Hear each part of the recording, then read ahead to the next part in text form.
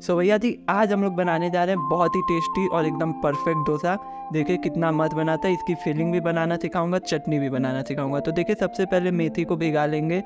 अब हम लोग लेंगे अपना दो कप आटा और उस चावल का आटा सॉरी और उसमें हम लोग पानी डालेंगे, उसे एकदम अच्छे से उसका एक घोल बना लेंगे और उसे हम लोग थोड़ा देर के लिए, थोड़ा देर नहीं, तीन घंटे के लिए रेस्ट पे रख देंगे। और आधा कप उड़द की दाल लेंगे और उसे भी रेस्ट पे रख देंगे। फिर देखिए उड़द की दाल दही और मेथी को हम लोगों ने मिक्स किया, फिर उसमें हम लोगों ने अपना आटा डाल दिया और बस इसे एकदम अच्छे से इसका एक बैटर बना लेंगे।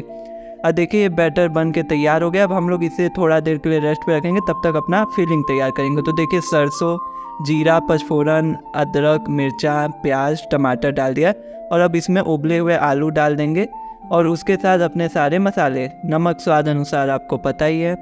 मसाले में मैंने लिया था हल्दी पाउडर, धनिया पाउडर, गरम मसाला और लाल मिर्च पाउडर। बस, इतना ही मैंने यूज़ किया था। अब इसके बाद ये जब एकदम अच्छे से मिल जाएगा तो इसमें धनिया डाल देंगे थोड़ा सा पानी ऐड करके इसे एकदम इसका पेस्ट बना लेंगे। देखिए, हम लोगों ने मूंगफली को भूज लिया और ये चटनी की तैयारी अब हो रही है। और इसमें हम लोगों ने नारियल को घिस के डाल दिया और इस पर हम लोगों ने मिर्चा, अदरक और अपना खट्टा इमली का पानी डाला है।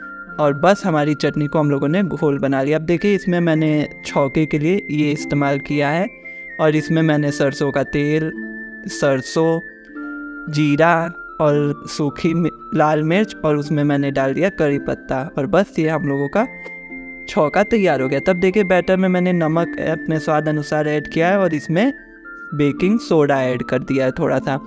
अब देखिए हम लोगों ने अपना पैन को, पे तेल को एकदम अच्छे से फैला लिया था। उसमें पानी डाल दिया ताकि ठंडा हो जाए।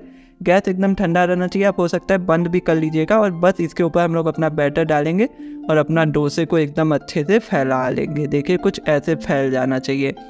और बस फैलने के बाद अब इसका इंतज़ार करिए कि इस पर थोड़ा सा ब्राउन ब्राउन टेक्सचर आ जाए। उससे पहले आप लोग इस पर तेल डाल दीजिएगा ताकि अच्छे से आराम से छूट जाए। और देखिए, अभी अपना लगा देंगे हम लोग इस पर आलू। और इसको अब हम लोग कर लेंगे फोल्ड और हमारा डोसा बन के रेडी है। कमेंट में बताइएगा आपका डोसा कभी परफेक्ट बना है आप पहली बार वीडियो देख के बनाने वाले हैं। Like, share, subscribe.